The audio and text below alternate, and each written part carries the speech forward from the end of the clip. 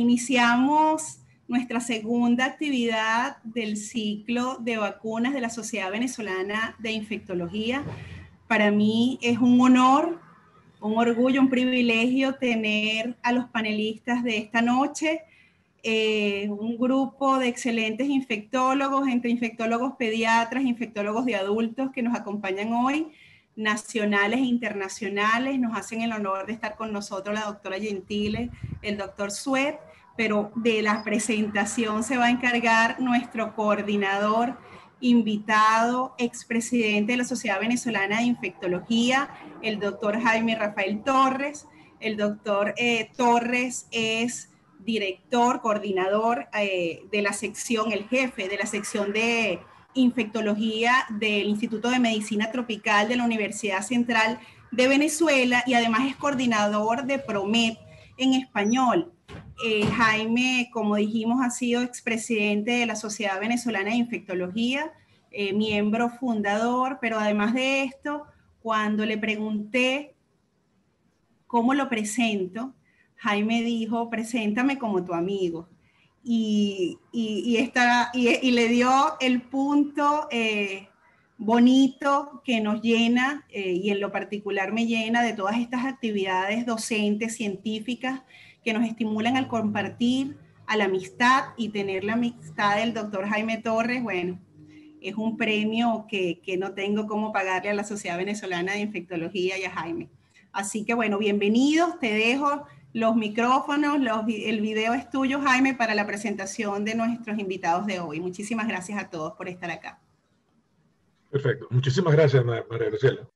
Ok, bueno, para mí realmente es un gran eh, gusto y, un inmenso privilegio ser moderador de esta actividad, que ha sido, por cierto, muy exitosa, este ciclo que ha iniciado la, la Sociedad Venezolana de Infectología Ah, y verdad que, que los felicito por, por, la iniciativa, creo que ha sido tremendamente útil y, y, esta reunión en particular nos permite acercarnos y vincularnos con gente muy querida y conocer de su experiencia. Nosotros estamos apenas comenzando una etapa eh, eh, en forma muy incipiente para un programa de vacunación basado en gran medida en, en, la vacuna Sputnik 5, que, de la cual eh, tienen muchísima más experiencia nuestros invitados de hoy Ah, y con, él, con ellos queremos compartir eh, su visión y su, y su, uh, y, su uh, recomendaciones al respecto.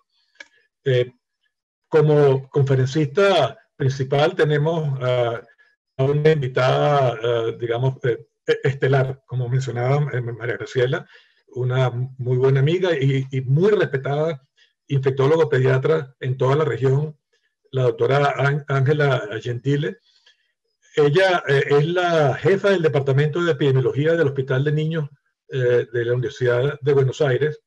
Eh, es presidente de la Comisión Nacional para la Eliminación de Sarampión y Rubiola, miembro del Comité Regional para la Erradicación de Polio en las Américas de la OPS y OMS, miembro de la Comisión Nacional de Seguridad en Vacunas de Argentina, es profesora además de, de Epidemiología en la Universidad Austral, eh, es profesora de infectología en la Universidad de Buenos Aires, es consultora en enfermedades inmunoprevenibles de la OPS y de la OMS y es miembro del Comité Nacional de Infectología de la Sociedad Argentina de Pediatría. Eh, ella también eh, es la presidenta del Comité de Vacunas de la Sociedad Latinoamericana de Infectología Pediátrica, SLIP. Su currículum es tan largo que, ocuparía toda la conferencia y solamente me limité a las cosas que me parecieron más relevantes actuales de las, eh, en las cuales ella está eh, participando. verdad que para nosotros es un inmenso orgullo tenerla como conferencista de hoy y la va a acompañar eh, otra figura también muy relevante de la infectología argentina, que es el doctor Omar Suet, quien actualmente es el presidente de la Sociedad Argentina de Infectología, SADI. Él es un médico de adultos, médico internista ah, y especialista en enfermedades infecciosas pero además tiene eh, en, su, en su haber un, un, doctorado en medicina y un máster en, el manejo integral de pacientes con VIH-Sida de la Universidad de Barcelona. Es el director de investigaciones clínicas de la Fundación Huésped en Buenos Aires, que se ocupa desde hace eh, bastante tiempo ya eh, del manejo integral de, los pacientes con VIH-Sida ah, y del problema de, esta infección en, en el país.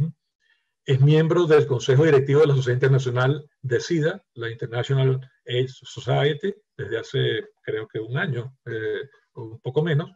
Eh, es miembro, al igual que la doctora Gentile, que se me olvidó mencionarlo, miembro del Comité Asesor de Expertos sobre COVID-19 de la Presidencia de la Nación eh, en Argentina y es asesor internacional en proyectos de VIH y consultor en diversos países de Latinoamérica. De manera que tenemos dos figuras realmente de gran uh, experiencia y de, de mucho, eh, de, de, muy respetadas eh, eh, por todos los que hacemos vida en el área de de la enfermedad infecciosa y la enfermedad inmunoprevenible y seguramente vamos a tener una excelente reunión.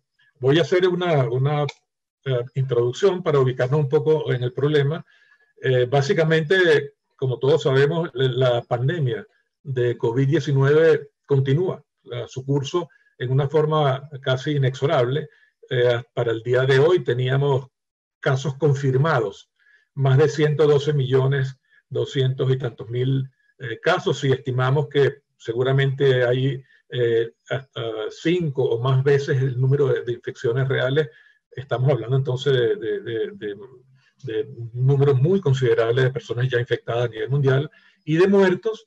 de muertes tenemos ya oficialmente registradas casi 2.500.000 ah, personas que lamentablemente han fallecido como consecuencia de la pandemia y también si tomamos como los estimados más usuales del, doble o hasta el triple de casos reales de muerte debido a esta infección, probablemente estamos entonces llegando a los 5 millones, 6 millones de personas que podemos atribuir que han muerto directa o indirectamente por, por la pandemia.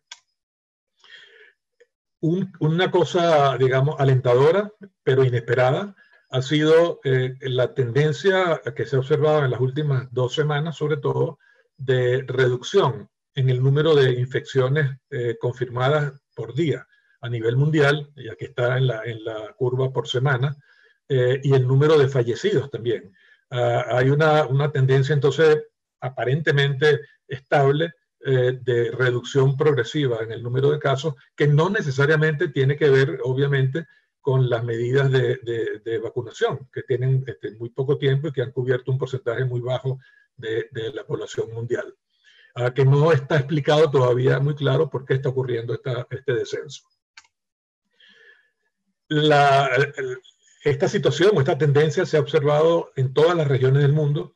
Uh, podemos ver que en la región de las Américas, aquí en esta figura está combinado tanto Norteamérica como Centro y Suramérica, toda la región de las Américas, uh, y vemos que uh, aún así, te, incluyendo los, dos grandes países productores de casos, o los tres grandes países, incluimos a México también, que son Estados Unidos, Brasil y México, la región muestra también una tendencia clara a la disminución de casos en las últimas semanas. Y un poco más rezagado, pero también una tendencia franca a la reducción en el número de muertes por día y por semana que observamos. ¿A qué se debe esto? No está claro. Eh, probablemente tiene que ver con diversos factores combinados. Eh, la estacionalidad. Eh, esto alguna gente aduce que, bueno, el hecho de que en algunas partes del mundo estemos, sobre todo en, en, el hemisferio sur, estemos en la época más bien de, verano, de calor, eso contribuye a que haya una disminución eh, a la larga de los casos. Esto no necesariamente es así, porque en países como Estados Unidos ha habido un momento aún en la época de, verano, o sea que, eso no, no, es una explicación tan, tan, tan clara. Eh, es porque estamos alcanzando en algunas partes del mundo algún nivel de inmunidad colectiva. Tampoco está claro, eh, pareciera ser cierto en algunas partes, pero esa supuesta inmunidad colectiva no ha sido óbice para impedir el, resurgimiento de, la enfermedad en algunas partes como Manaus, en algunas partes eh, como Iquitos, en Perú, de manera que, que, que, no está tampoco muy claro cuál es el papel de esta supuesta inmunidad colectiva. Además, si la definimos por la seropositividad de la población, ha habido eh, grandes cuestionamientos de la confiabilidad de, la, de las cifras de seroprevalencia por la, eh, y la interpretación de, estos resultados eh, a nivel mundial. ¿O es porque la población ha cambiado en su comportamiento? Bueno, eso probablemente sí ha influido en, cierta medida. la incorporación de la medida de distanciamiento social, del uso de, medidas de barrera. Todo esto este, seguramente está contribuyendo de alguna manera progresivamente a una reducción o enlentecimiento en la, en la tasa de incidencia de la enfermedad. En algunos países que han tenido, eh, digamos, eh, campañas de vacunación que ya van eh, bastante avanzadas, como el caso de Israel, es probablemente uno de los factores que está influyendo en la reducción global de casos, si bien, como todos sabemos, algunos grupos de la población que no han sido beneficiados hasta ahora de la vacunación, como los niños o los pacientes adolescentes o los individuos adolescentes, ha habido un repunte de casos en este subgrupo y de hasta casos complicados cambios en la dinámica de las variantes del virus. Están surgiendo numerosas variantes que se comportan en forma distinta. Algunas se transmiten más fácilmente que otras, algunas pudieran ser un poquito más virulentas, otras menos, y eso seguramente está influyendo también en la dinámica de la epidemiología de la enfermedad. O, como, como más eh, seguro podría ser eh, decirlo, todas las anteriores explicaciones probablemente juegan algún papel.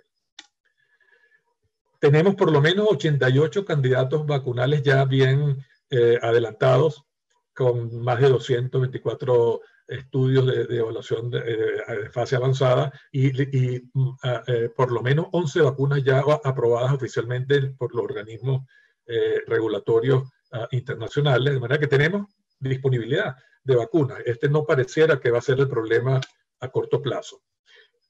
Una de las cosas que siempre tenemos que, hacer énfasis y por eso también es importante eh, eh, conocer la experiencia que han vivido eh, con una vacuna, en particular países como, Argentina, es que cuando hablamos de vacuna de, COVID, no estamos hablando, estamos hablando de cosas muy diferentes.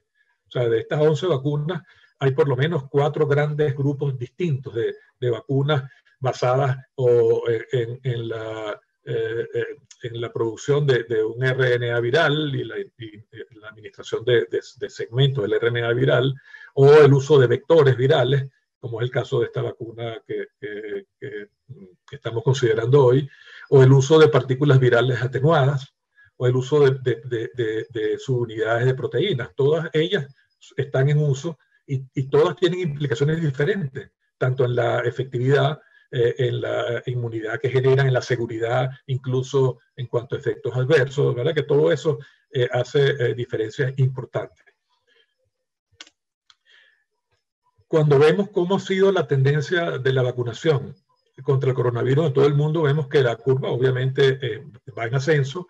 para el día de hoy teníamos oficialmente casi 220 millones de personas que han recibido por lo menos una dosis de la vacuna. Ah, lo que eh, en, todo el mundo.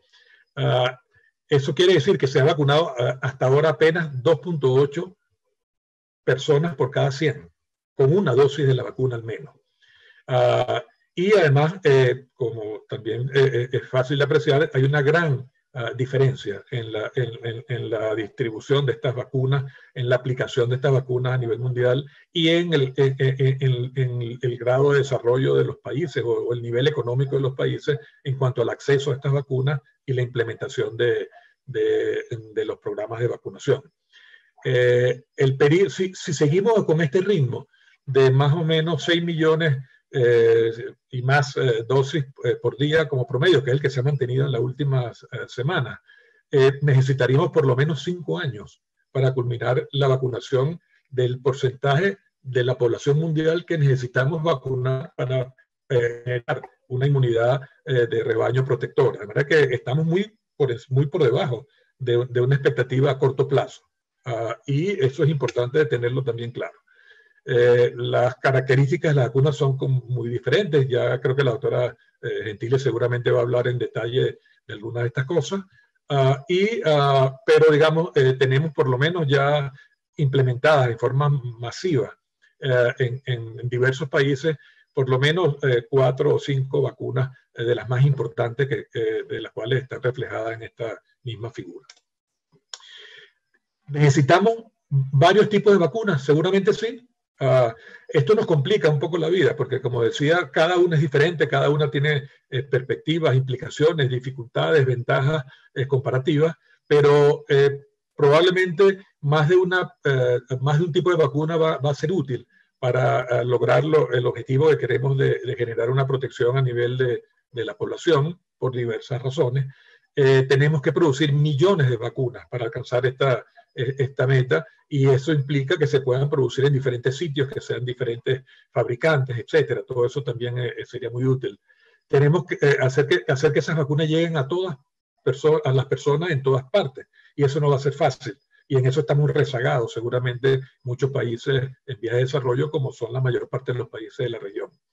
Y uh, necesitamos vacunas que estén disponibles en todos los países y que cuenten con el respaldo de organismos internacionales que avalen y que faciliten además la distribución de estas vacunas, como es el caso del, de, de, COVAX, que, eh, que, es uno de esos acuerdos que ha facilitado mucho la, el desarrollo y la implementación de estos programas de vacunación. La, todas las vacunas tienen un componente geopolítico y un componente, eh, y, la vacuna Sputnik 5 no escapa de eso, o sea, es producida por un país que tiene ciertas características, uh, se ha manejado de cierta manera la información, eh, hubo algún retardo en la, en la publicación de algunos de los datos de, eficacia y eso ha generado también muchas observaciones y hasta uh, desconfianza en algunos países del mundo. Pero la, el, justamente la escasez de vacunas ha llevado a, que en el escenario surjan eh, fabricantes que antes no eran eh, grandes competidores en, en, en, la producción de vacunas y esto es lo que ha ocurrido con con la vacuna Sputnik 5 y con algunas vacunas como, como algunas vacunas producidas en China, por ejemplo, y, y, más recientemente en la India. Ahora que, uh, que esto ha abierto un poco el escenario para que estas nuevas vacunas puedan uh, surgir en el mercado mundial y que los países puedan también beneficiarse de su utilización. Eh, pero uno de los grandes problemas que, que, que, se tiene y que no escapa eh, el laboratorio productor de esta vacuna, que es Gamaleya, eh, es la, la, la, capacidad limitada de producción de vacunas. Y por eso, como vemos en, en esta imagen, eh, hay una, eh, la demanda es muy alta eh, para las vacunas y uh, va a ser necesario producirlas en diferentes sitios. Y de hecho ya se ha comenzado la producción en algunos países fuera de Rusia y aparentemente en la región, países como Brasil, no sé si Argentina mismo, eso me lo pueden aclarar eh, más tarde, eh, van a participar en la producción mismo de la vacuna, lo que facilitaría mucho su incorporación uh, a nivel mundial.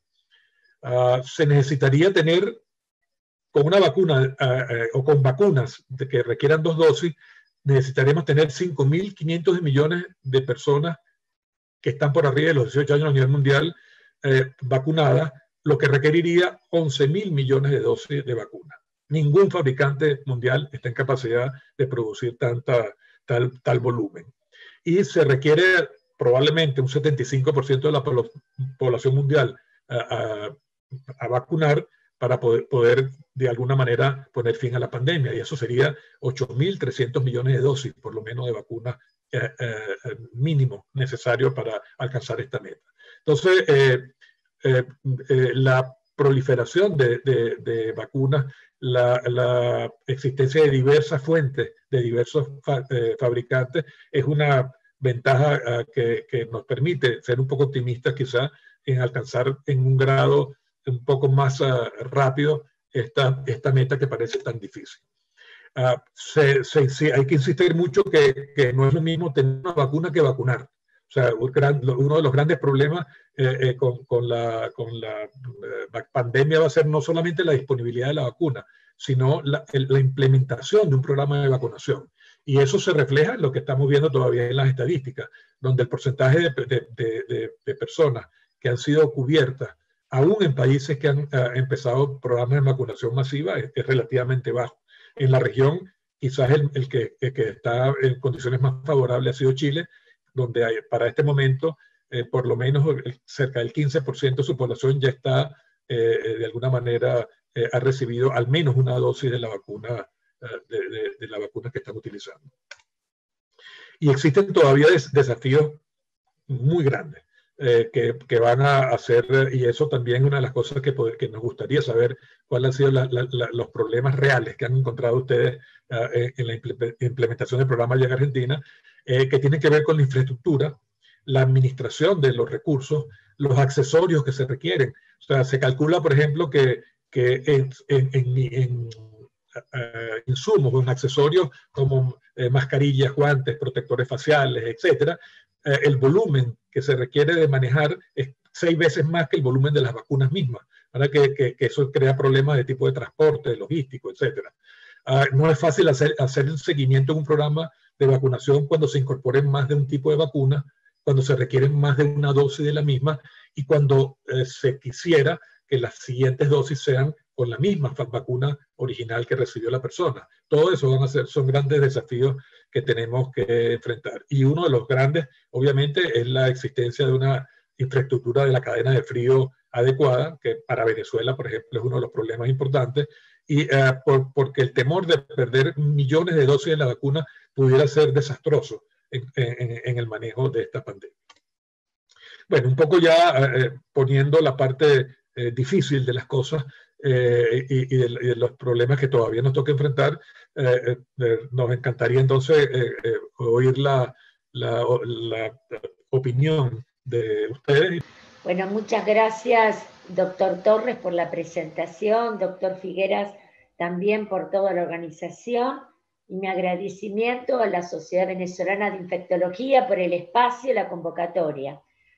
Vamos a, junto con el doctor Sued, a contarles un poco la experiencia argentina y he preparado una presentación como para poder ir tomando algunos de los puntos más importantes de esta vacunación. Muy bien, entonces, vamos a ver la situación actual. Nosotros una de las primeras cosas que nos parece importante marcar es que la gran eh, impacto que han tenido los medios de comunicación a lo largo de toda esta campaña de vacunación, en este caso con vacuna Sputnik, que es del laboratorio del Instituto Gamaleya, y luego con las subsiguientes que también se están recibiendo en el país ya. Y esto no es un punto menor y creo que va a ser importante también que en nuestra charla le demos un espacio a cómo comunicar este tipo de vacunas, las campañas y las estrategias que se están siguiendo. Por otra parte, les quiero mostrar un poco lo que pasa en la ciudad de Buenos Aires y en cierta forma también lo que hemos visto como curva país. Nosotros entre los meses de diciembre y enero hemos sufrido un aumento del número de casos. Sin embargo, con una característica totalmente diferente al aumento de casos que hemos tenido el año pasado. Incluso, ¿por qué? Porque cuando uno mira la edad y la mayor incidencia, la mayor incidencia sigue siendo en la gente joven, entre 20, 40, 45 años. Pero la gran diferencia es la ocupación de las camas de terapia, que en este momento son alrededor del 25, 27%, muy bajas en comparación con el número de casos que teníamos el año pasado, que eran similares en un determinado momento, pero con una ocupación de terapia mucho mayor. Creo que hay muchos temas para discutir, este patrón epidemiológico un poco diferente que uno ha tenido, que también lo vemos en Cava, pero en el resto del país, y claramente marca cómo el grupo de joven es el grupo, el gran grupo transmisor, pero por otra parte cómo ha cambiado el patrón de internación y sobre todo de la entrada a cuidados intensivos. Acá tenemos el virus que nos preocupa realmente, el causante de esta pandemia y acá sobre todo vamos a marcar este ARN virus que está cubierto con estas glicoproteínas y sobre todo la glicoproteína de la espiga. Esto es fundamental porque es el factor de virulencia, el blanco antigénico para el sistema inmune que genera cuando este virus a través de la espiga se une al receptor AC2, genera anticuerpos, anticuerpos neutralizantes fundamentalmente, que son los que van a conferir la protección.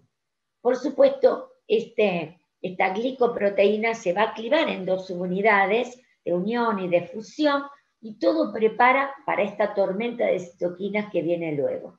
Entonces, ¿qué es lo que hacen las vacunas a través de sus diferentes plataformas? Generar una respuesta antigénica en base a la espiga fundamentalmente, es decir, crear anticuerpos neutralizantes contra la espiga. Ustedes saben que se discutió mucho qué nivel, qué eficacia uno le tiene que pedir a estas vacunas.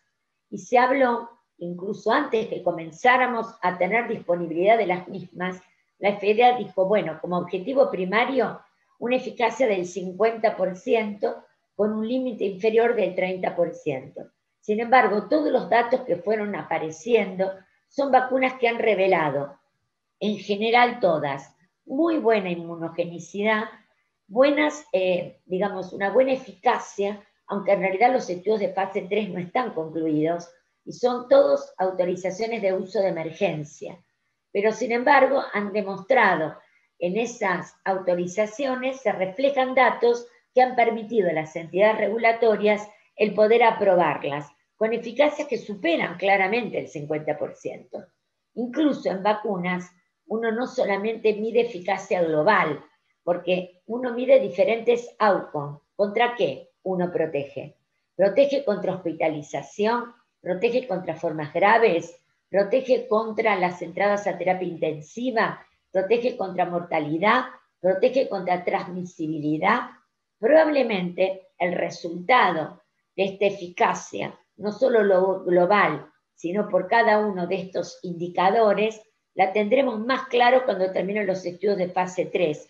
Pero ya con las autorizaciones de uso de emergencia y con los datos que han permitido su aprobación y distribución, ya sabemos que son vacunas que tienen excelente eficacia para todo lo que es grave, hospitalización, muerte, entrada a terapia, cuadros graves, y que se revelan como buenas o con una eficacia adecuada para formas menos severas. Por otra parte, también es importante que la eficacia uno la tiene que calcular en base al RO. Ustedes se acuerdan que el RO era a partir de un caso a cuántos ese caso COVID positivo puede contagiar. Y se sugiere, tomando como RO o como un RO estimado entre 2 y 3, y si no ha sido subestimado, se sugiere que entre el 60 y el 70% se necesita para lograr tener protección de rebaño. Incluso, esto es un dato importante, durante mucho tiempo se discutió que si uno no vacunaba, y dejaba la evolución natural de la enfermedad, prácticamente con esta evolución natural iba a alcanzar la protección de rebaño. Sin embargo, luego de brotes importantes en Europa, por ejemplo, datos en Madrid o datos en el Reino Unido, datos en Nueva York, están hablando que a pesar de en esta primera ola o brote importante que ha conllevado muchísimos casos y muchos miles de muertos, sin embargo, la, prevalencia de anticuerpos, es decir, el porcentaje de población que había tomado contacto con SARS-CoV-2 no había superado el 15%, en algún lugar puede ser un poco más. Incluso en la ciudad de Buenos Aires se hizo una encuesta de cero prevalencia, en el cual se vio la proyección al 3 de noviembre, que era del 14%, con diferencias. En las áreas vulnerables, mucho más, incluso llegando al 40% de los llamados barrios populares y mucho menos, 2 a 3% en las zonas menos vulnerables. Pero también lo que fue muy interesante que se vio, que por cada caso confirmado por PCR, tres personas tenían anticuerpos, lo cual nos habla también del rol importante en los asintomáticos en la transmisión. Por eso siempre decimos, el menú de protección no es solo la vacuna, hay que seguir con las precauciones de contacto, hay que seguir con las precauciones de gota respiratoria y hay que seguir buscando casos, detectando casos, detectando contactos, rastreando y teniendo un número de testeos ajustado. En la Argentina lo llamamos el programa de detectar, que salir a terreno, búsqueda de casos y rastrear contactos, porque esto permite cortar la cadena de transmisión. Es decir, que no solo es la vacuna, es un menú de cosas que se tienen que poner en marcha para precisamente lograr disminuir la transmisibilidad de un virus que realmente nos tiene muy preocupados a todos. Como dijo muy bien el doctor Torres, y no voy a volver a explicar la cantidad de vacunas que se encuentran bajo investigación, pero no hay ninguna que haya terminado la fase 3. Todas están aplicándose bajo autorización de uso de emergencia. Y hay cuatro plataformas inactivadas, subunidades, ARN mensajero, vectores virales. Nosotros comenzamos el programa de vacunación en Argentina con una vacuna como es la Sputnik, que es del Instituto Gamaleya, que precisamente se caracteriza por ser, utilizar como vector adenovirus no replicativo. Entonces, ahora vamos a ver un poquito más en relación a estas vacunas. Muchísimos estudios son los presentados en nuestro país y de hecho tenemos estudios de Pfizer, que también se trabajó en la fase 3 en el país, Sinopharm, que el investigador principal es precisamente la Fundación Huésped, donde trabaja el doctor Sued, estudios con Janssen, con Cancino, es decir, estudios de fase 3 que aún no están concluidos, pero han permitido a los diferentes laboratorios tener conclusiones parciales que permiten a su vez ser presentados a las autoridades regulatorias. Esto ya lo comentó claramente el doctor Torres, la inequidad que uno tiene con la distribución de vacunas y el escaso porcentaje de aplicación de vacunas en el mundo todavía, ¿no es cierto? Y focalizando un poquito la realidad nuestra para compartir la experiencia, nosotros estamos usando la vacuna del Instituto Gamaleya, que es una vacuna que tiene desafíos, sobre todo en cuanto a cadenas de frío que les voy a compartir, pero también es interesante, estamos recibiendo en esta semana, acabamos de recibir, vacuna de AstraZeneca, vacuna que está elaborada en India, que también es un adenovirus no replicativo. Lo que pasa que AstraZeneca es un adenovirus no replicativo de chimpancé. Por eso se llama Chad Ox, porque Chad con chimpancé y Oxford Oxford, ¿sí? Que tiene la gran ventaja de tener la conservación de 2 a 8 grados. También damos dos dosis. Esto también está autorizado por la Autoridad Nacional Regulatoria y es interesante porque es la primera vacuna en la cual Oxford hizo transferencia de tecnología con nuestro país.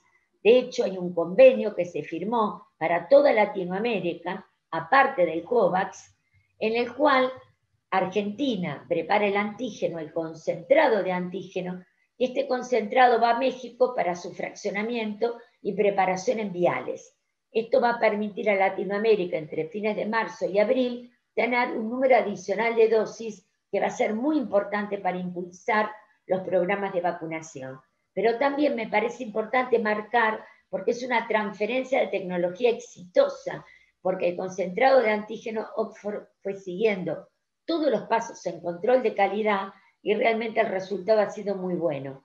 Con lo cual abre también el terreno para tener otras transferencias de tecnología. Por ejemplo, con el Instituto Gamaleya, ¿Y por qué no con otros también? Porque América Latina está preparada para esta transferencia de tecnología y el poder así tener más posibilidad y la oportunidad de tener vacunas en tiempo y en forma. Por otra parte, yo les comentaba la diferencia que hay entre lo que es el registro de emergencia o el informe. Acá en la Argentina hubo bastante controversia entre lo que era el registro de emergencia. El registro de emergencia lo hizo Pfizer o lo hace AstraZeneca porque tiene laboratorios en el país y esos laboratorios presentan la documentación a la ANMAT, que es la Autoridad Nacional Regulatoria.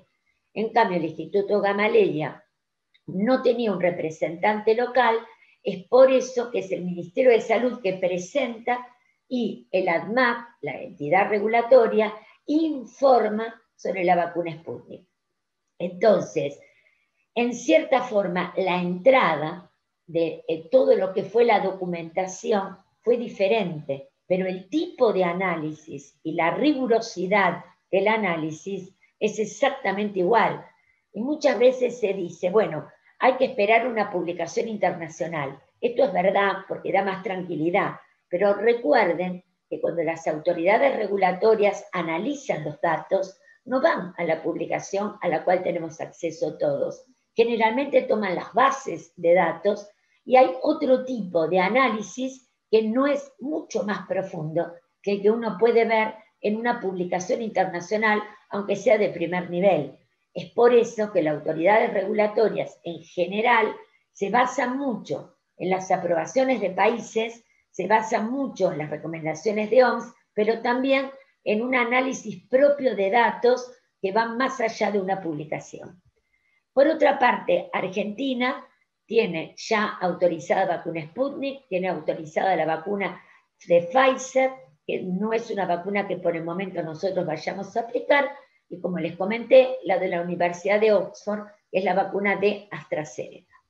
Y por otra parte, lo que es muy importante es que en Argentina se comienza la vacunación con Sputnik precisamente en base a la autorización de la ADMAR, que es una autorización de uso de emergencia.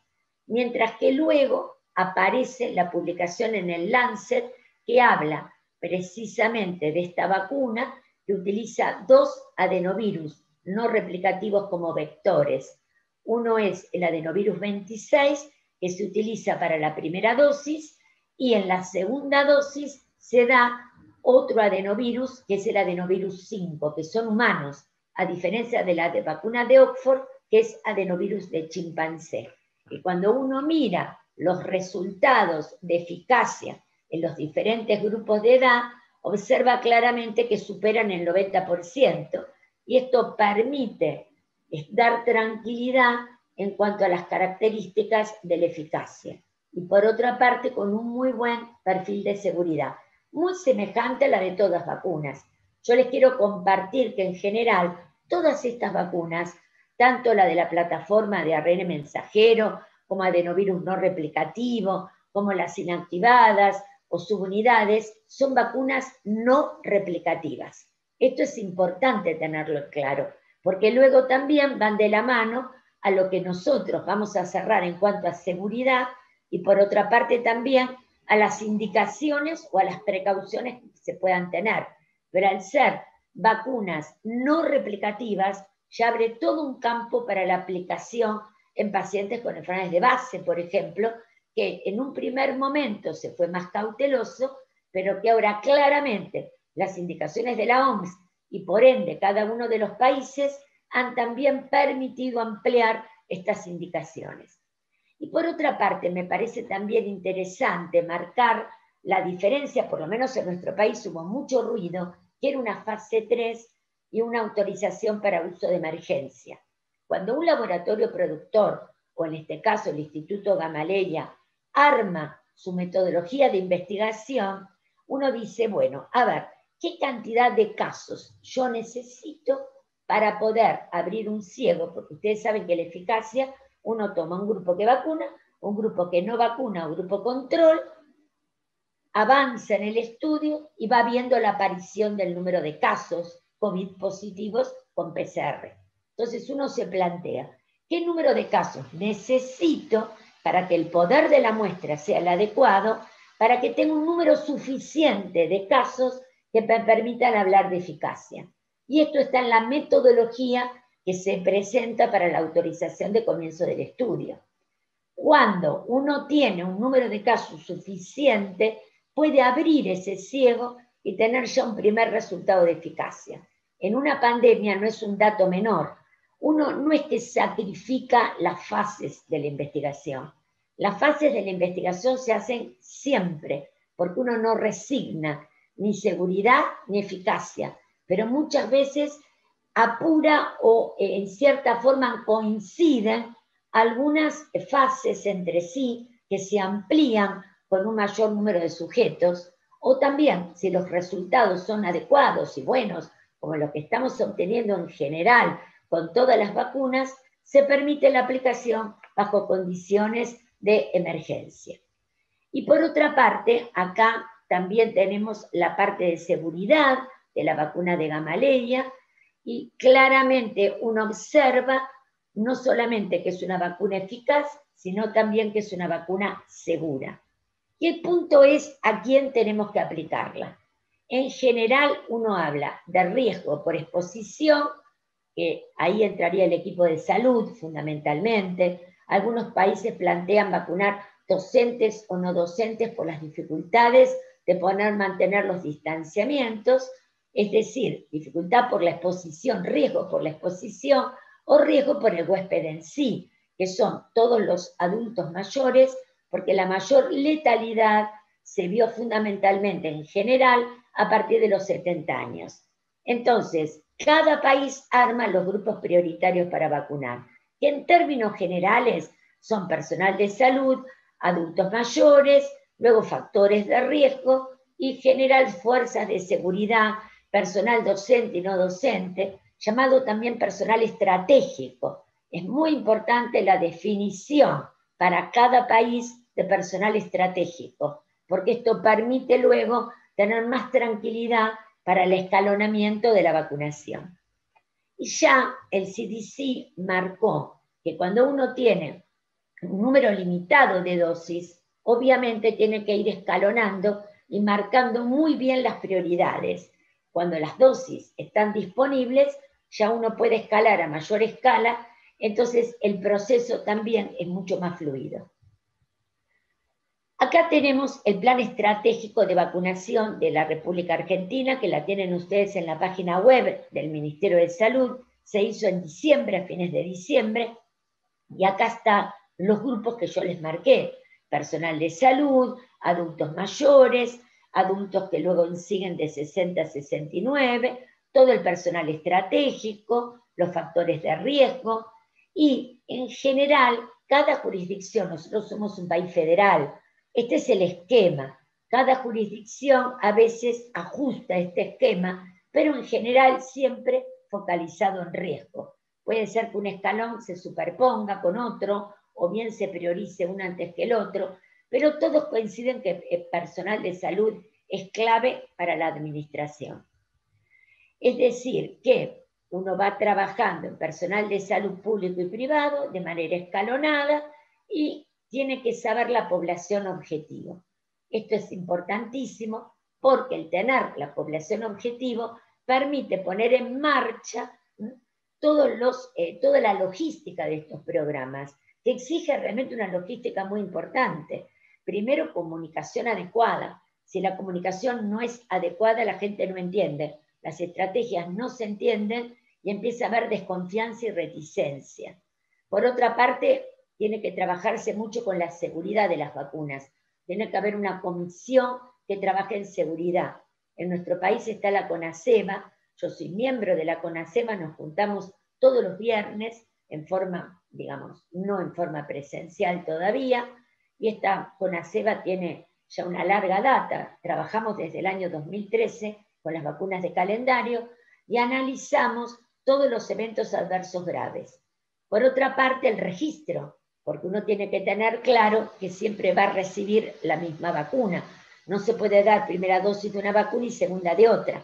En este momento en el país estamos recibiendo AstraZeneca o también vamos a recibir vacunas inactivadas, como la vacuna Sinopharm, que ya está llegando también, vamos a tener tres vacunas dando vueltas, con lo cual el registro nominal, nombre, apellido un documento de identidad es clave para hacer el monitoreo y hacer todo el trazado, la trazabilidad de estas vacunas.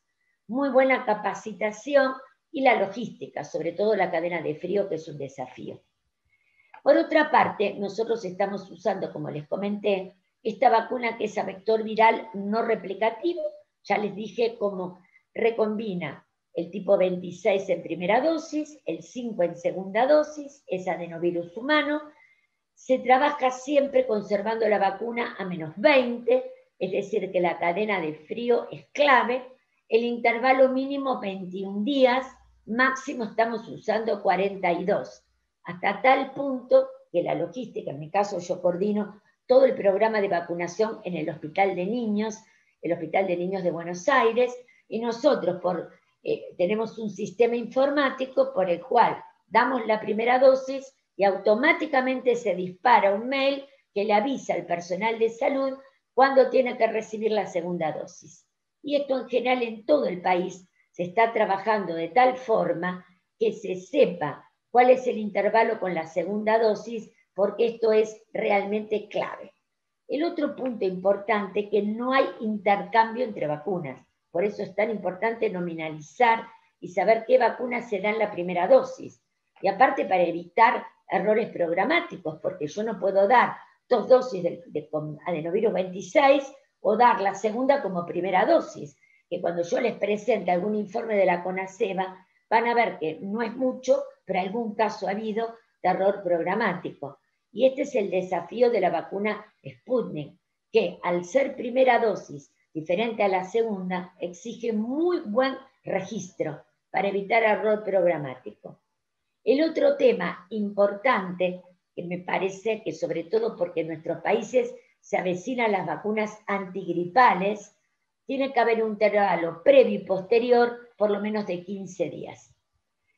Acá tenemos los lineamientos técnicos que ustedes también lo pueden consultar en la página web del ministerio, se los podemos hacer llegar. Y también, que me olvidé de comentarles, que cada componente tiene marcado una tapita de color diferente. Eso es bueno para la capacitación, porque uno sabe que la tapita celeste es primera dosis, la roja será segunda, y luego se cambió de color en las sucesivas entregas, ahora es verde, pero uno sabe que está diferenciada la azul con otro color. Entonces puede hacer mejor la capacitación a las vacunadoras. Por otra parte, también me parece importante ver cómo llegan las vacunas. En un primer momento llegaban, llegaban, porque ahora ya no es así, llegaban en viales de la cual uno podía obtener cinco dosis.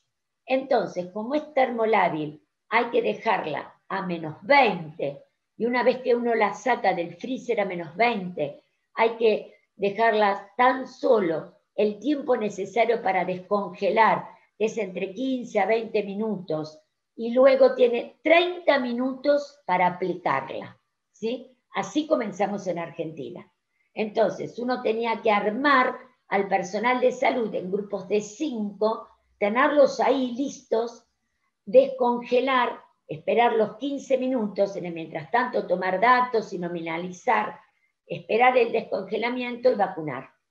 Pero tenía que tener los cinco, porque si a uno le faltaba uno, bueno, tenía una dosis que no la podía usar, es un factor de pérdida y realmente las vacunas son miradas y cuidadas muchísimo y todos sabemos que no podemos perder una sola vacuna. Esto fue el comienzo, así empezamos con viales de 5 dosis, con, había que usarlo en 30 minutos y los grupos de 5 eran claves para poder organizarnos adecuadamente. Con el transcurso del tiempo esto cambió y ahora estamos recibiendo vacunas como monodosis, individuales. Y aparte se agregó otro dato fundamental, que puede estar dos horas una vez que uno descongela. Entonces cambió nuestras vidas en terreno, porque una hora tiene una vacuna que viene en viales monodosis y aparte la descongela y tiene dos horas para poder usarla, lo cual hace que permite mucho más flexibilidad en la logística para los vacunadores también. Por otra parte, como a modo de resumen, siempre conservar a menos 18, siempre descongelar a temperatura ambiente, se dice 5 a 10 minutos, pero en la práctica tarda de 15 a 20 minutos. Hay que hacer un cuidadoso balanceo del vial. Y acá este tema de las dos horas que nos cambió la vida en terreno y a las vacunadoras sobre todo, y también a los que organizamos los programas de vacunación, porque nos ha permitido mucha más flexibilidad para la gestión. Nunca almacenar un vial abierto, no volver a congelar y no caer en esta tentación que si uno tiene un vial de 5 y le sobró un poquito, agarra otro vial de 5 y le sobró otro poquito, agarra otro vial de 5 y le sobró otro poquito, uno dice, tengo tan poca vacuna que agarro todo y a lo mejor armo una o dos dosis. Absoluta contraindicación, absoluta contraindicación tomar restos de los viales de 5. Uno a lo mejor si hay un vial que tiene sexta dosis puede hacer, pero no puede tomar restos de los diferentes viales. Lo comento porque fue una cosa que se insistió mucho en la capacitación. Por otra parte, y ahora viene el gran tema de las contraindicaciones. Hay contraindicaciones que son absolutas. Si uno tiene alergia con shock anafiláctico previo a una vacuna aplicada previamente, algo grave, edema de glotis, dificultad respiratoria, o una enfermedad aguda grave que la está pasando en ese momento, o bien ha tenido un cuadro después del primer componente de shock anafiláctico es una contraindicación. Ahí no hay dudas. Y la otra cosa muy importante, que nosotros ya incluso tenemos algunos que tienen dos dosis aplicadas, pero si una persona tiene dos dosis aplicadas y tiene contacto estrecho con un caso PCR positivo, seguimos con las normas habituales. Se lo considera contacto estrecho y se actúa exactamente igual independientemente del antecedente de vacunación COVID. ¿Qué fuimos cambiando a lo largo del tiempo? Menores de 18 años, no. Nunca lo hicimos ni tampoco lo estamos haciendo porque hay trabajos de investigación en curso, pero todavía no hay indicación para la vacunación pediátrica. Inmunocomprometidos, tampoco hay datos estrictos de inmunocomprometidos relacionados a la administración de la vacuna en un grupo en sí. Hay algunos trabajos, algunos trabajos de embarazo y lactancia, pero así comenzamos. No al inmunocomprometido, no a la embarazada, no a la lactancia, incluso evitar el embarazo hasta las cuatro semanas post vacunación y la vacunación de personas que recibieron con tratamiento con monoclonales o plasma de convaleciente, esperar por la interferencia que podría haber, esperar 90 días. ¿Qué pasó? Porque así comenzamos. ¿Qué pasó a lo largo del tiempo? Se reunió la Comisión Nacional de Inmunizaciones, se revió toda la documentación y lo que es importante es tener claro esto que se los marqué, que si bien no se dispone de evidencia suficiente para recomendar el uso rutinario a todo el mundo de dar estas vacunas en lactancia a embarazadas o a personas inmunocomprometidas o con enfermedad autoinmune, sin embargo, cuando este grupo tan especial que nos preocupa a su vez tiene una exposición de riesgo, por ejemplo, equipo de salud, que no lo puede evitar, o bien tiene alguna otra enfermedad subyacente, se prioriza, se puede hacer interconsulta con el médico de cabecera y se pueden vacunar. Esto no es un dato menor. Nosotros hemos tenido mucho personal de salud que en un primer momento hubo que no ofrecer la vacunación, pero luego ahora por ejemplo, lactancia, ningún problema. En general esto ya lo veíamos desde el primer momento que seguramente no tenía que ser así. Y una mujer que está dando de lactar, dando lactancia materna a su chiquito, puede vacunarse sin problemas. Embarazadas. Generalmente uno quiere tener y trabaja con el médico de cabecera, pero recordemos que estas son vacunas no replicativas. Entonces, uno se comunica con el médico de cabecera y cuando uno pone el beneficio de una vacuna de estas características frente a un riesgo que a lo mejor una persona pueda ser inmunocomprometida o bien embarazada, pero en el caso de una enfermedad de base está totalmente estable con medicación adecuada, tiene que interconsultar con el médico de cabecera y uno podría indicarle la vacunación. Esto es lo que estamos haciendo en este momento hace muy poco. En general, y nosotros como hospital pediátrico, el mayor problema que teníamos era con embarazo y con lactancia. Con lactancia en general, uno ya estaba indicando no suspender la lactancia materna porque es clave para poblaciones vulnerables fundamentalmente. Esto es muy nuevo, acaba de salir hace muy poco y me parece que uno comenzó de una forma, pero es para transmitirle la experiencia de cómo fuimos avanzando de acuerdo a las recomendaciones de la OMS y del grupo SAGE también. Por supuesto, si alguien está cursando una enfermedad aguda por SARS-CoV-2, no lo vamos a vacunar. Si está en aislamiento por contacto estrecho, tampoco. Pero también sí, independientemente del tipo de forma clínica, vacunamos a todos aquellos que cursaron una infección por COVID. En este momento hay algunos trabajos que lo podemos tomar para las preguntas, que quizás el grupo que tuvo infección por COVID, uno en lugar de darle un esquema de dos dosis, le podría dar un esquema de una dosis. Pero esto nosotros todavía no lo implementamos.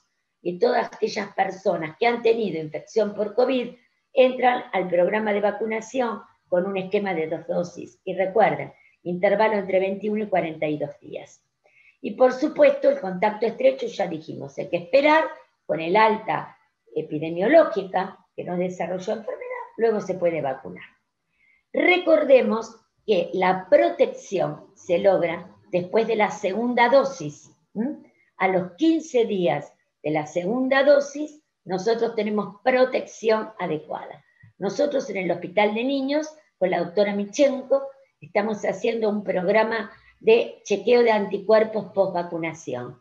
Hacemos a todo nuestro personal de salud un chequeo previo y luego posterior, que lo estamos pautando un mes después de la segunda dosis. Es un programa, no es saco una muestrita y te la llevo, es un programa con seguimiento, autorizado por el Comité de Ética en Investigación del Hospital y autorizado por la dirección del hospital. Y se basa en un programa muy fuerte que tenemos de vacunación del personal de salud que ya comenzamos hace muchos años con hepatitis B. Por otra parte, recordar la importancia del registro. Acá ustedes van a ver Nomivax porque es el registro nuestro y el CISA es nuestra plataforma, pero no importa, lo importante es un buen registro. ¿eh? Esto es clave para todo aquello que les fui contando. Cuando nosotros comenzamos la vacunación, hicimos una encuesta a nuestro personal del hospital y teníamos el 31% de reticencia. Y le preocupaban mucho los eventos adversos o si había publicaciones o no. Incluso la gente comentaba, estoy esperando la publicación, no sé lo que hacer. En este momento, del 30%, 31%, no tenemos ni 10% de reticencia, yo creo que menos. Ahora vamos a hacer otra encuesta para medir. Pero eso también es un desafío, porque muchas veces uno arma todos los listados para vacunar la primera línea y al mes, con un escenario de poca cantidad de dosis, empiezan a llegar la gente que cambió de opinión. Que también es otro dato de la vida diaria que comparto. Por otra parte, importantísimo trabajar en seguridad. Está la modalidad pasiva intensificada, en el cual cada jurisdicción notifica en nuestro sistema, que es el CISA, el evento adverso. Y luego la modalidad activa, que la estamos organizando a través de unidades centinela o seguimiento de cortes. Mi hospital está en el proyecto de seguimiento de cortes y hacemos vigilancia activa.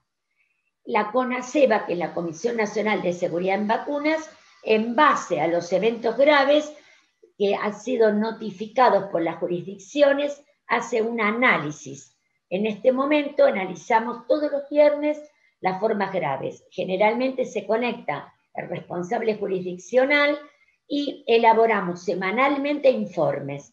En esos informes se sigue si es un error programático, si está relacionado a la vacunación y ustedes todas las semanas el país tiene un informe de seguridad. Llamamos por el informe número 9, que lo hacemos luego de este análisis.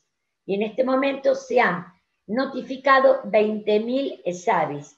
En general, casi todos fueron leves y moderados. Lo más habitual síndrome pseudogripal, fiebre, mialgias, cefaleas, eh, todo lo que es decaimiento, y, suele aparecer entre las 24 y las 48 horas post vacunación. Dato de la vida diaria. Cuidado cuando uno vacuna al equipo entero de terapia, porque el 40% al otro día por ahí no puede venir.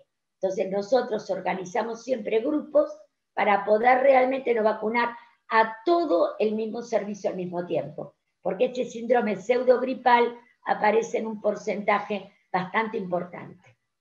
Por otra parte, acá tenemos, un informe a modo simplemente de ejemplo, ¿eh? Y algunas recomendaciones generales que ponemos en el informe para poder hacer llegar a todos. Y acá está otro tema que siempre nos preocupó mucho. En la CONACEBA participan figuras expertas invitadas, y entre ellas trabajamos mucho qué hacer con personas con antecedentes de alergia. La contraindicación absoluta, como les dije antes, es la anafilaxia o crisis alérgicas importantes. A veces la contraindicación puede ser temporal. Y yo también les hablé de hacer interconsulta con un alergista como para tener claramente qué hacer. En general, uno tiene más precauciones. Lo que se trata de hacer es vacunar en ambiente cuidado y generalmente dar antihistamínicos previos, que muchos lo refieren a 24, 48 horas antes, incluso cuando se termina la vacunación, se deja 30 minutos a la persona para estar seguros de este evento. Pero una rinitis alérgica, una alergia ambiental, no es una contraindicación. Uno si tiene dudas, le puede dar antihistamínicos y vacunar en un ambiente cuidado. Lo que es claro es el shock anafiláctico o un cuadro muy grave. En ese caso sí hay que consultar. Como conclusión, son vacunas muy desafiantes, es un programa muy desafiante, porque por muchos puntos. Primero, porque esperar datos de seguridad y eficacia, las presentaciones que exigen cadena de frío importante, cómo se distribuye la logística, todo lo que es la capacitación y la comunicación, que no es un dato menor. La comunicación es clave para generar confianza. Si no comunico adecuadamente, no genero confianza. Y si hay desconfianza, aumenta la reticencia en la vacunación. Por eso es tan importante trabajar con encuestas que aborden reticencia, eh, trabajando mucho con el equipo de salud. Si el equipo de salud se vacuna, en general todos se vacunan porque genera confianza. Y por otra parte, dar también datos de coberturas y datos de seguridad, porque esto aboga la transparencia. Bueno, el desafío es muy, muy grande realmente en un escenario de escasa provisión de vacunas, con una logística desafiante y con coberturas que cada vez tenemos que trabajar más para poder llegar a todos aquellos que lo necesiten, a todos aquellos que están marcados como de alto riesgo. Bueno, eh, como conclusión final, tenemos por ahora seguir con aislamiento y manejo de casos, no importa que sigamos vacunando. Tenemos claro que no, sabemos para medir outcome cuánto protege contra transmisibilidad. Estamos muy lejos de la protección de rebaño, así que tenemos que trabajar con todas las medidas de control y con todo lo que implica el rastreo, búsqueda de casos y contactos. Todo eso debe continuar, ¿eh? exactamente igual. Y por otra parte, plataformas nuevas, muy desafiantes, como por ejemplo ARN mensajero, otras más conocidas, porque adenovirus no replicativo no es tan nuevo tampoco, siempre ver la espiga, porque uno mide los anticuerpos neutralizantes para la espiga. Por eso cuando uno mide post vacunación IgG, la mide contra la espiga, aunque también uno mide el IgG contra el núcleo de la envoltura. Pero tiene que tener espiga positivo para estar seguros que bueno, esa vacuna es eficaz y qué tenor de anticuerpos y concentración tiene. Habida cuenta que este, todavía no tenemos correlato de protección. Yo no sé la concentración de anticuerpos todavía para generar protección. Y eso no es un dato menor. En vacunas se necesita el correlato de protección. Esta es otra de las cosas pendientes. Y por otra parte, por ahora el esquema son dos dosis con diferentes intervalos de confianza. Hay toda una discusión con AstraZeneca también con el intervalo, que lo podemos dejar para las preguntas. Con este panorama creo que podemos dar un marco para generar toda la discusión posterior. Muchísimas gracias. Excelente, Ángela, increíble presentación. Un orgullo ser argentino, puedo decir que trabajo en un lugar cerca tuyo, porque la verdad es que eh, cualquiera de los que hizo preguntas el costado y nos están pasando las preguntas ahora, eh, si ha prestado atención a la charla, están todas respondidas. Y yo creo que entonces paso, pasando a eso, y si me permite Jaime, y si me permite Manuel, podemos ir interactuando con la doctora ir contestando estas preguntas.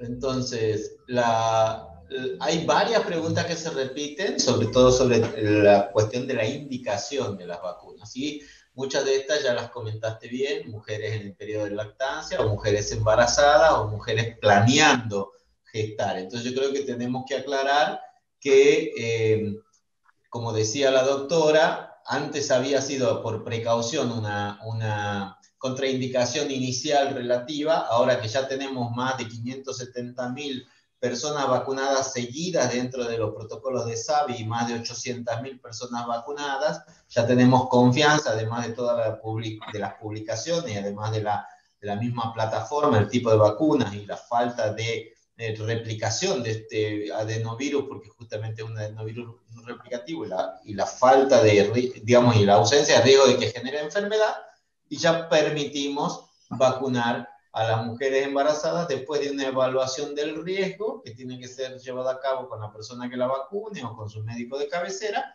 para, para, decidir en función del riesgo, porque claro, puede tener fiebre, puede tener dolor, puede tener el síndrome, el síndrome gripal o algún efecto adverso raro, ¿no? Que puedan dar cualquier vacuna. Pero si eh, la mujer no está embarazada y se quiere vacunar, tendrá que esperar por lo menos digamos, se sugiere que esperen al menos cuatro semanas para buscar activamente el embarazo. Con respecto a los eventos adversos, como decía la doctora, son muy poco frecuentes los, los graves.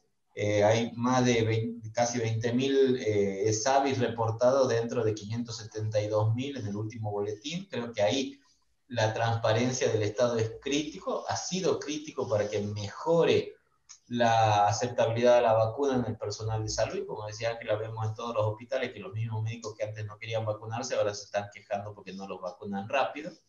Entonces, eh, de estos eventos adversos, el 97% fue el típico síndrome gripal o dolor o fiebre o cefalea o dolor de sitio de inyección, pero hubo un caso de Guillain-Barré, como hay en muchas otras vacunas, en casi 800.000 casos.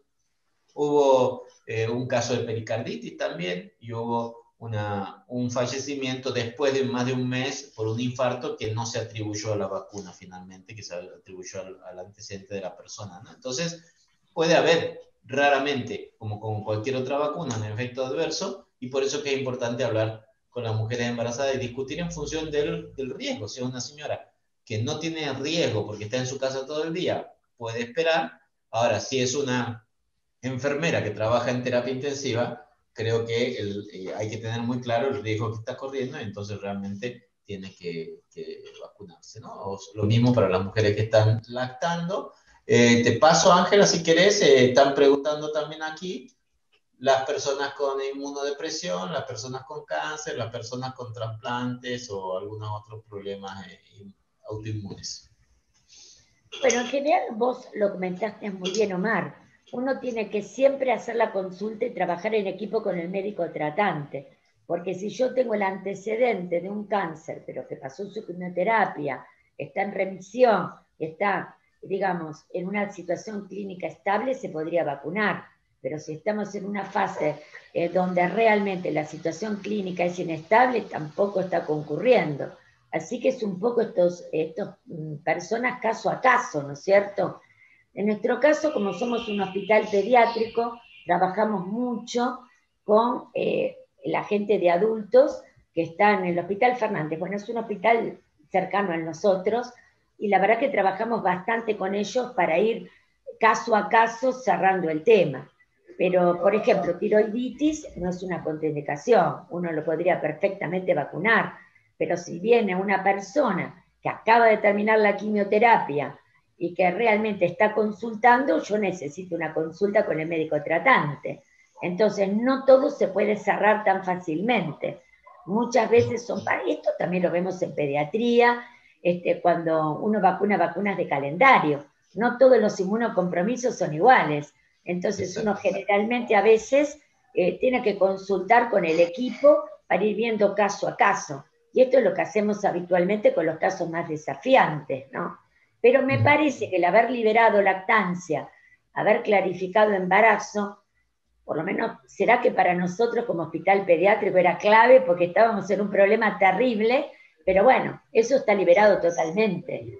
Y también otros datos como tiroiditis, que era otro de los eventos que realmente más consultaban, pacientes VIH, bueno, Mar tiene mucha experiencia, ¿no es cierto?, en el seguimiento de este tipo de pacientes adultos, y esto permite realmente ahora abrir una puerta a este tipo de pacientes que como cuando comenzamos la, la vacunación teníamos que contraindicar.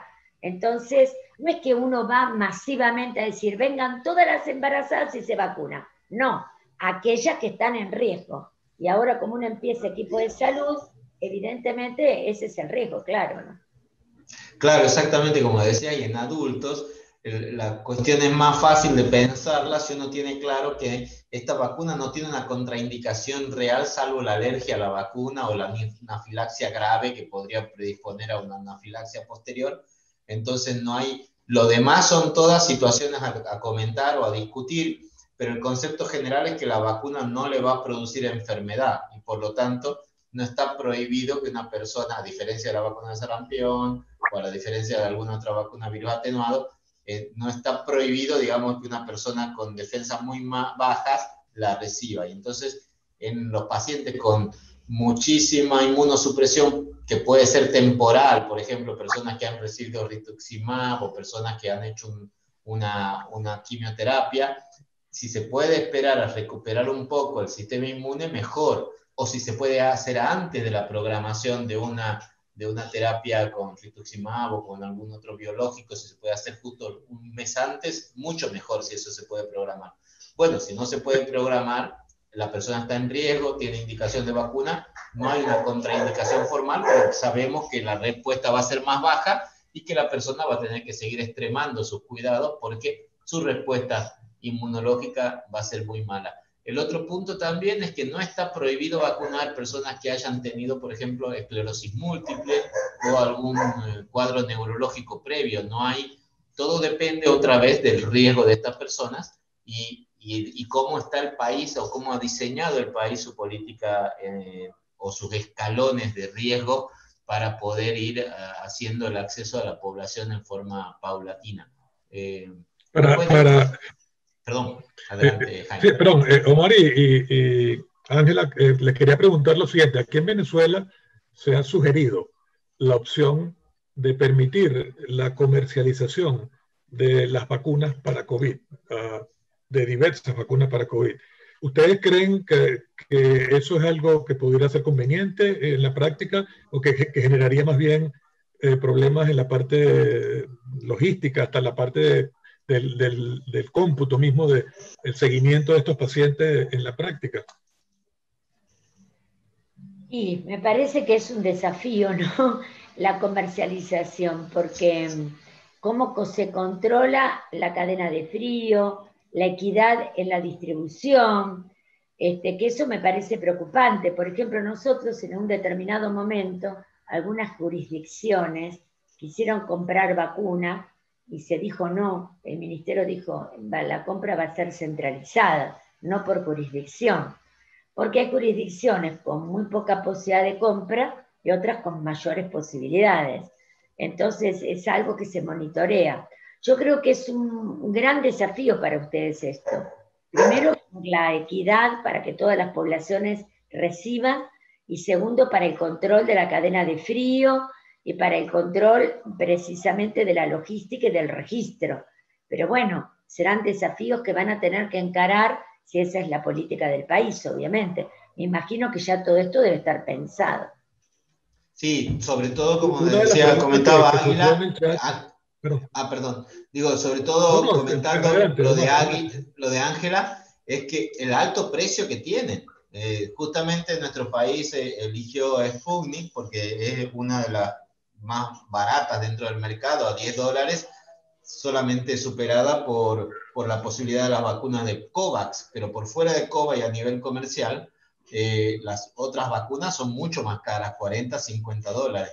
A eso, más la, posibilidad de la cadena de frío, más la posibilidad del contrabando, más la posibilidad de las digamos, de las medicaciones falsas o las vacunas falsas, hacen, y fundamentalmente la decisión del Estado de, generar equidad, hace muy poco eh, probable, muy poco posible implementar un sistema privado, al menos en esta etapa. El, el gobierno ha dicho que más adelante quizás lo evalúe, pero por el momento las autorizaciones de emergencia que ha emitido el ministerio autorizan solamente al ministerio a comprar las vacunas y a distribuirlas. Entonces, en ese sentido estamos bastante tranquilos, estamos muy contentos con el liderazgo nacional que ha tenido eh, todo este plan de vacunación. No ha sido fácil, sobre todo al comienzo, porque ha sido muy rechazado por los medios de comunicación y ha sido muy promovida, digamos, la campaña anti-vacuna Sputnik, pero afortunadamente por la y, justamente por las acciones de comunicación, de colaboración con la sociedad civil,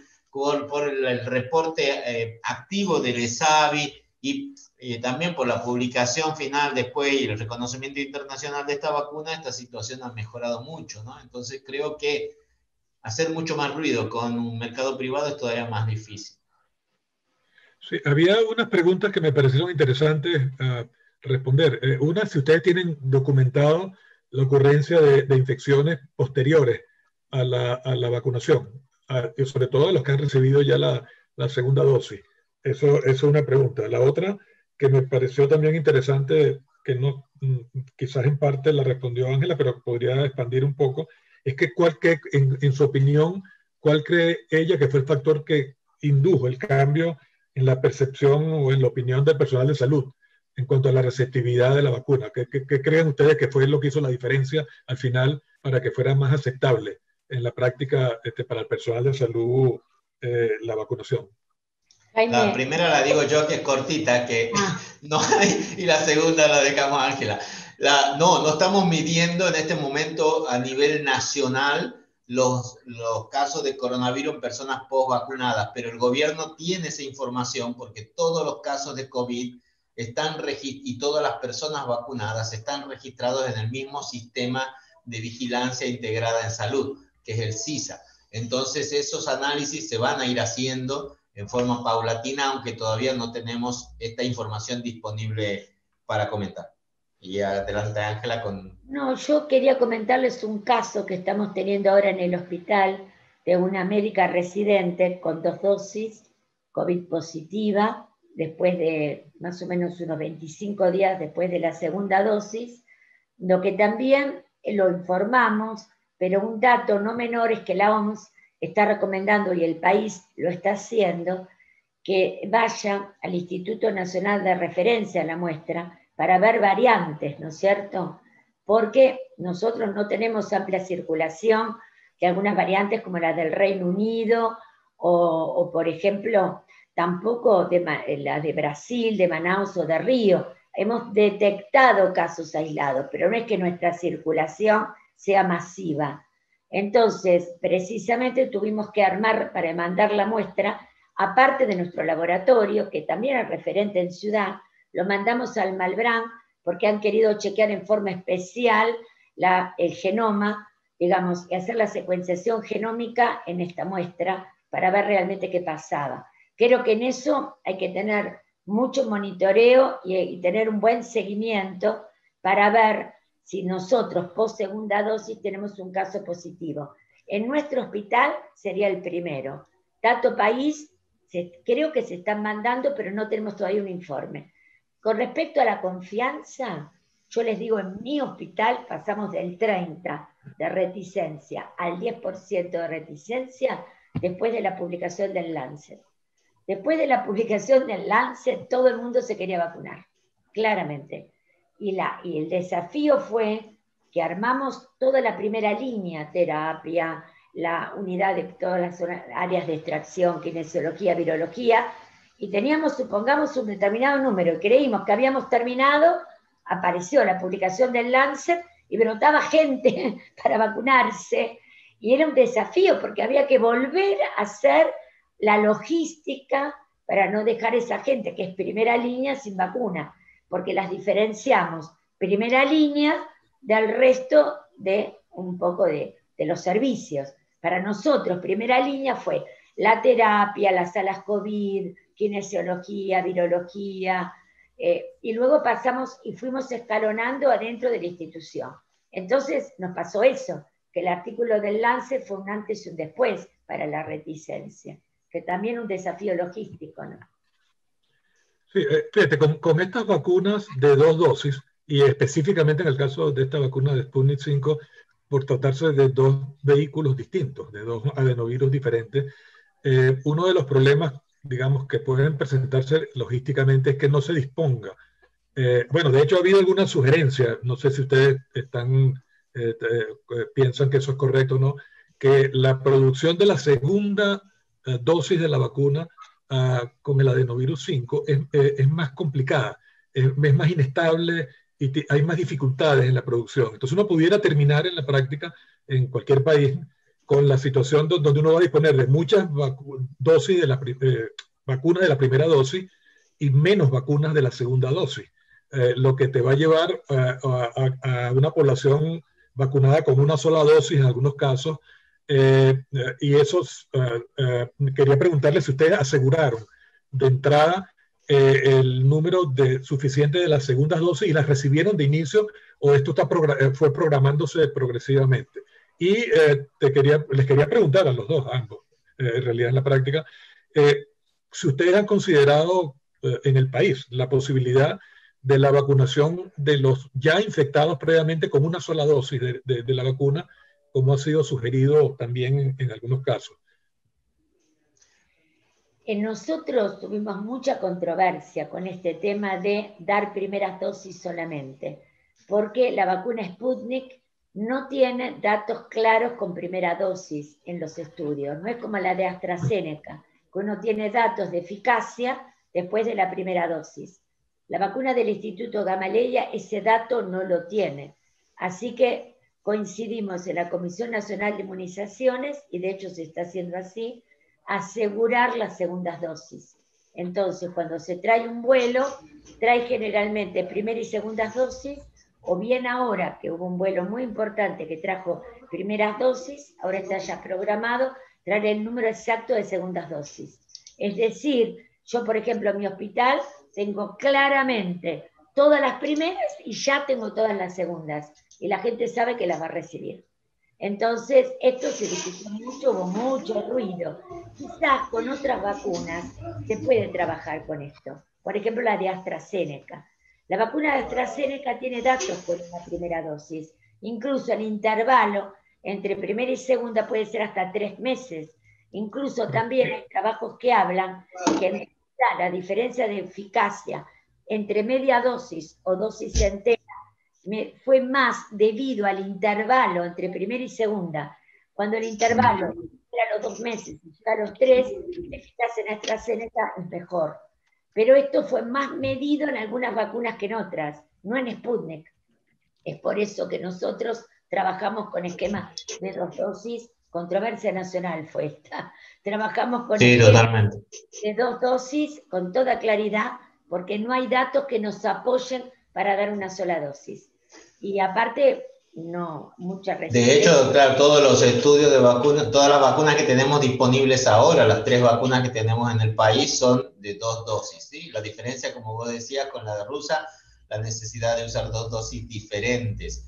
Eh, hay un estudio en marcha de AstraZeneca con la segunda dosis Sputnik y eso vamos a tener eh, resultados, esperamos, en, tres, en dos o tres meses. Y hay otro estudio, Sputnik Light, que también se está haciendo para evaluar a largo plazo la eficacia de una sola dosis de vacuna de Sputnik. Recordemos que la, primera dosis de Sputnik es la misma que la de, es muy similar a la de Janssen, digamos, que tiene la adenovirus 26, ¿no? Entonces vamos a ver, ahora se acaba de aprobar en el, digamos, en, FDA, creo, la, la, vacuna de Janssen, eh, a través, digamos, después de ver los resultados del estudio de ensamble, que esa sí es una sola dosis, y en Argentina estamos eh, a punto de, de, terminar el estudio Cancino, que es otra vacuna de adenovirus 5 con una sola dosis también. Entonces veremos estos resultados, que ya hay una publicación preliminar en Pakistán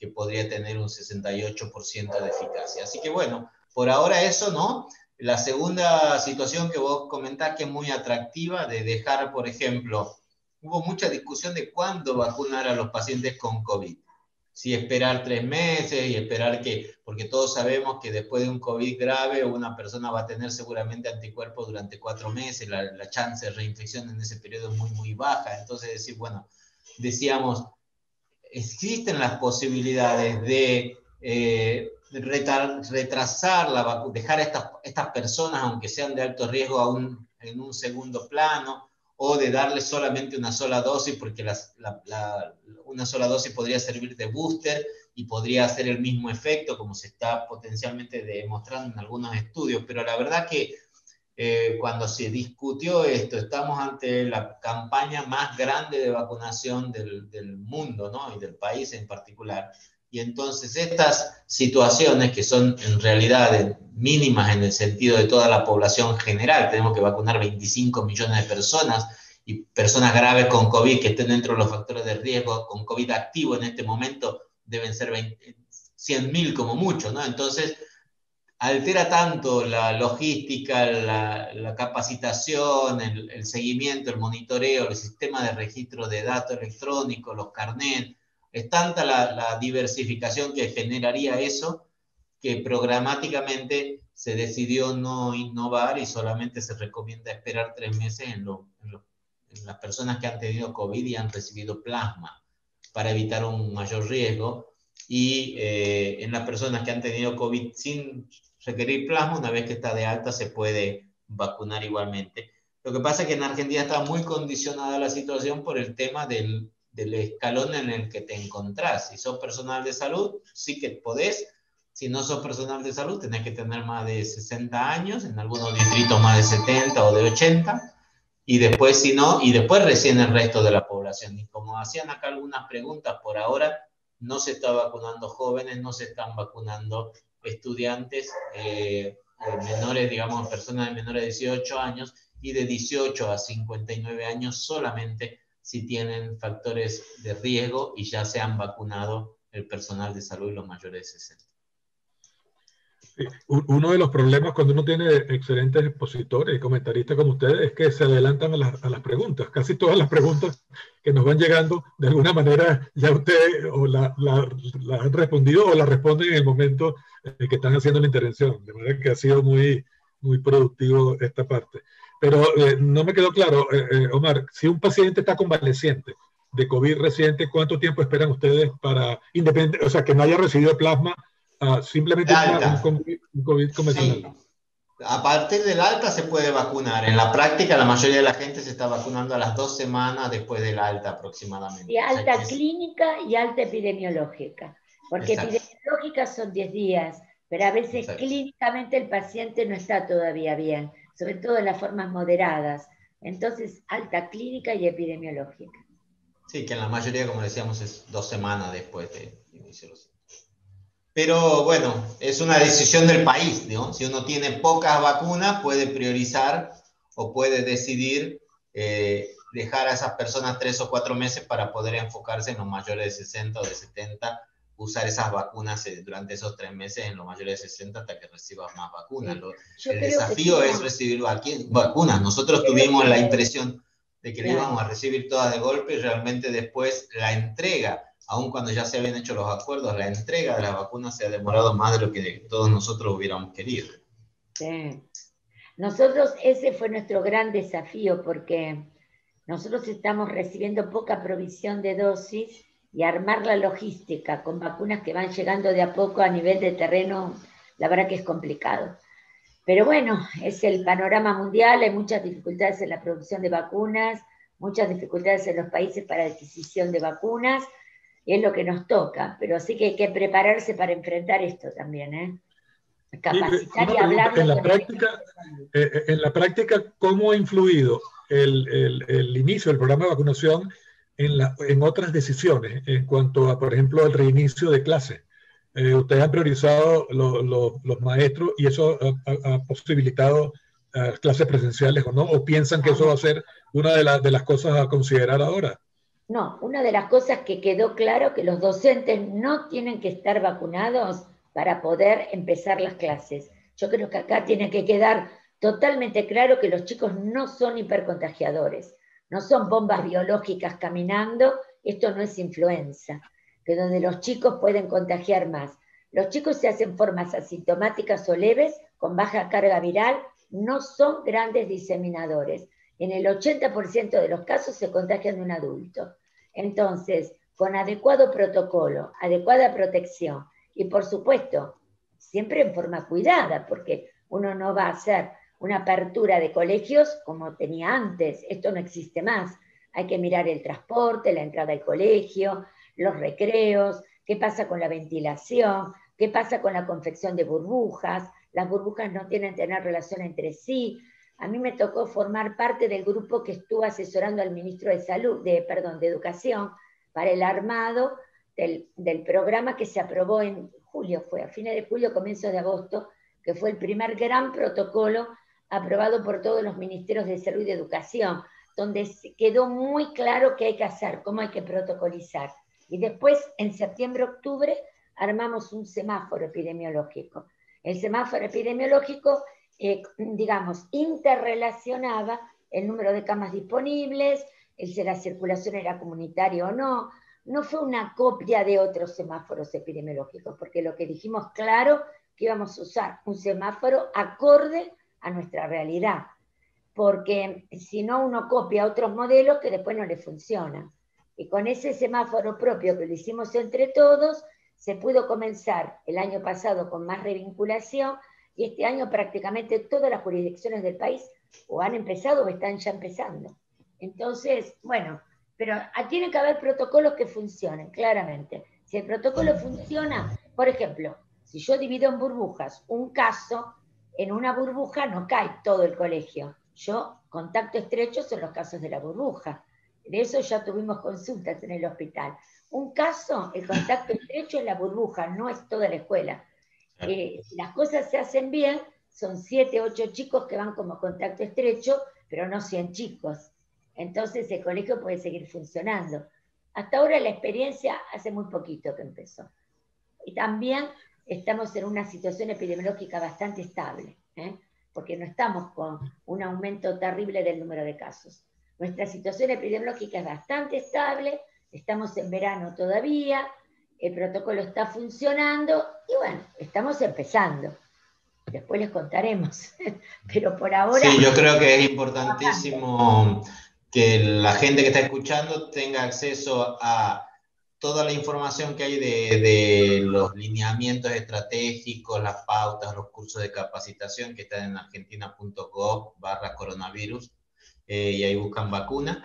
Y después la Sociedad Argentina de Pediatría, como decía Ángela, Ángela ha hecho un documento muy importante sobre el retorno seguro a clases de 40 páginas, donde eh, muestra lo diferente que es en una ciudad donde los casos están bajando, que cuando los casos están subiendo. Obviamente, si mañana hay 20.000 eh, casos nuevos en Buenos Aires, hoy hay 8.000 y están en bajada, uno puede tomar una conducta diferente, digamos, ¿no? Pero en este momento que los casos están en bajada, la demanda de la sociedad es muy importante por abrir las clases, la inversión del gobierno para habilitar algunos de los colegios para, digamos, para hacer la, que esto sea posible antes de que venga el invierno, que no se va a poder estar en las aulas con todo abierto, eh, bueno, hay que aprovechar ahora, si después la situación mejora, perfecto. Lo que sí ha sido al revés, en nuestro país lo que pasó es que la apertura de los colegios y la disponibilidad de una vacuna más que no está por este, en este momento todavía aprobada a mayores de 60, que se acaba de aprobar la vacuna de Sinopharm, es la decisión del gobierno de habilitar la vacunación a los maestros un poco antes de lo que se había pautado en el lineamiento. En el lineamiento los maestros iban a estar después que se termine de vacunar a todos los mayores de 60. Pero eh, al tener esta vacuna que no se puede usar para mayores de 60, permite esta vacunación en paralelo al personal de los colegios, justamente para paliar un poco esta situación. Bueno, eh, eh, un poco para ir concluyendo esta excelente eh, actividad, quería de parte de ustedes como unas recomendaciones, ya sabemos lo que se debe hacer y, ustedes han planteado todos los requisitos, la, digamos, necesarios para un programa de, exitoso de vacunación como el que hasta ahora se ha llevado ya, pero ¿cuáles son las cosas que ustedes recomendarían no hacer o sea, en, concreto, o sea, que eh, eh, eh, una vez ya que han pasado por esta experiencia, ¿cuáles son las cosas que ustedes nos dirían? Mire, no hagan esto, no conviene hacer este tipo de cosas. Ah, ¿Cuáles serían sus recomendaciones en ese sentido? Jaime, ¿te referís en general al programa COVID o en, las recomendaciones en relación a la vacunación? A la, a la vacunación de COVID. A la vacunación. Yo lo que creo que lo primero que hay que hacer es generar confianza y tener una muy buena comunicación. Nosotros tuvimos muchas dificultades al comienzo porque prácticamente se politizó eh, la entrada de la vacuna. Entonces, eh, luego con la salida del Lancet ya todo como que se dio. Pero tiene que haber una buena comunicación, mostrar los estudios. Ahora hay muy buenos datos, así que ustedes van a tener la ventaja de tener buenas una buena publicación internacional, la van a poder mostrar tranquilamente y creo que tener confianza, trabajar con buena comunicación es clave para evitar la reticencia. Para mí, comunicación y trabajo con el equipo de salud y una buena capacitación es clave. Segundo, eh, otro consejo sería la transparencia en la distribución y la nominalización. Ustedes van a tener un desafío que es la vacunación en privado, no sé cómo lo van a manejar, no tengo experiencia eh, con vacunación de estas características en privado, pero sería bueno que vayan monitoreando, porque en cierta forma es responsabilidad, esto es una pandemia, entonces cómo se van distribuyendo las vacunas, qué alcance a la población tienen, me parece que este es otro desafío también importante, ¿no? Sobre todo habida cuenta el sistema de distribución que van a tener. Me parece que esto también es un desafío. Excelente. Sí, yo creo que antes de cerrar, comentar solamente dos palabritas, lo de las personas con VIH. Las personas con VIH hay dos grupos diferentes. Están las personas que tienen tratamiento estable y tienen más de 350 CD4. Esas personas no tienen un mayor riesgo de morir por COVID, por lo tanto, no tienen o no se han priorizado como eh, un grupo vulnerable para, para saltar, digamos, la cola para poder vacunarse antes. Eso es diferente de las personas menores de 350 CD4 o las personas que están con todavía que, digamos, que, que, están inmunosuprimidas y que en algunas series sí se ve que hay una mayor mortalidad y que al igual que algunos inmunocomprometidos graves podría considerarse en cada distrito como una, una población vulnerable y acelerar la vacuna.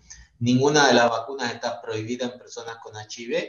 En Argentina tampoco está prohibido en el lineamiento, o sea que si la persona es un enfermero o es una persona que ya tiene una indicación de recibir la vacuna, en Argentina la va a recibir sin ningún problema. Y con respecto a hacer y lo que no hacer, me parece, como estoy totalmente de acuerdo con lo que dice Ángela Gentile, es necesario crear una, una, sensación de esfuerzo colectivo, una sensación de, digamos, una epopeya nacional para poder crear la vacuna y en eso hay que eh, apoyar el que tiene, digamos, la gobernanza nacional. Digamos, muchos de nosotros, sobre todo en, en las sociedades científicas, tendemos, digamos, tenemos seguramente visiones un poco diferentes a lo que el ministerio finalmente decide, pero también sabemos que somos clave en apoyar las decisiones del ministerio para que esas decisiones puedan avanzar mucho más rápidamente y no generar espacios de lucha o de confrontación, al menos de cara al público general, ¿no? Uno después en internas puede expresar, digamos, en las reuniones de asesores, justamente están para eso, cada, cada uno puede dar su opinión y, y llegar al consenso para lograr avanzar en, un, en una campaña nacional que realmente sea bien vista. En eso creo que las sociedades en Argentina, las sociedades científicas, hemos sido muy efectivos, hemos apoyado mucho al gobierno en, estas, en estos datos claves que eran traer una vacuna, mirar esa información que había inicialmente, aunque no estuviera publicada, y con la decisión y con la certeza de que era mejor esa vacuna, porque esos datos estaban, aunque no estuvieran publicados, era mejor que no tener ninguna vacuna en ese momento. Y finalmente, por suerte, pudimos avanzar el programa. Creo que no hubiera sido posible sin el apoyo de las sociedades científicas porque la presión de los medios y la presión eh, eh, fue muy intensa. Después, en la parte práctica, en lo cotidiano, creo que hay que evitar la tentación de implementar cosas raras. Algunos proponen hacer serología antes de vacunar para ver si vale la pena vacunar o no. Me parece que eso es pérdida de tiempo, pérdida de, de recursos. Tener mucho cuidado con los pasaportes, digamos, de, de inmunológicos o los pasaportes de vacuna. Ya decía Ángela que una persona vacunada igual se tiene que seguir cuidando e igual se tiene que poner en cuarentena si estuviera en contacto con una persona con COVID, porque pareciera ser que baja la transmisión. El estudio de AstraZeneca muestra un descenso del 49% de la adquisición de, COVID asintomático, pero no hay datos concretos de realmente cuánto, digamos, lo, los niveles de eficacia que vemos es de COVID clínico, no de COVID asintomático, porque ninguno de estos estudios, salvo el de AstraZeneca, hizo hisopados semanalmente para ver si realmente baja la circulación. Eh, y bueno, creo que, que, nada más apoyo todo lo demás que decía Ángela y, muchísimas gracias por, por, la invitación. Sí, de mi parte también muchísimas gracias Jaime, muchísimas gracias al doctor Figuel, la Sociedad Venezolana de Infectología, la verdad que muy lindo intercambio. Sí, realmente ha sido muy grato y por parte de la Sociedad Venezolana de Infectología, en, en representación de ella, le agradezco altamente el tiempo tan valioso que nos han dedicado y me uno al, al coro inmenso de comentarios favorables y de felicitaciones que surgieron y ustedes pudieron ver por el chat que realmente este, sus conferencias y sus participaciones fueron eh, muy claras, muy, muy precisas y fueron de mucha ayuda para nosotros. Uh, les quería uh, eh, eh, decir al, resto de la audiencia que la próxima semana tenemos programado una charla para un poco discutir la experiencia de la vacunación en Estados Unidos, uh, con la vacuna básicamente de, las dos vacunas que más han utilizado, que sería la de Pfizer y la, y la de Moderna, y estará a, a cargo del doctor Carlos Torres, un conocido infectólogo también venezolano que trabaja en Estados Unidos, de manera que están, están cordialmente invitados también ustedes eh, con el mayor placer del mundo. Muchísimas gracias, Ángela, muchísimas gracias. gracias, Omar, y esperaba verlos en el futuro próximo. Cara a cara, más cerca y vacunados. Gracias. Gracias. gracias.